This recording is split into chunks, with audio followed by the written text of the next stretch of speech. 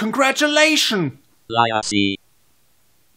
You are a slithery snake that cooks chili on a Harley Davidson motorcycle inside the eardrum of a grizzly bear. Good work!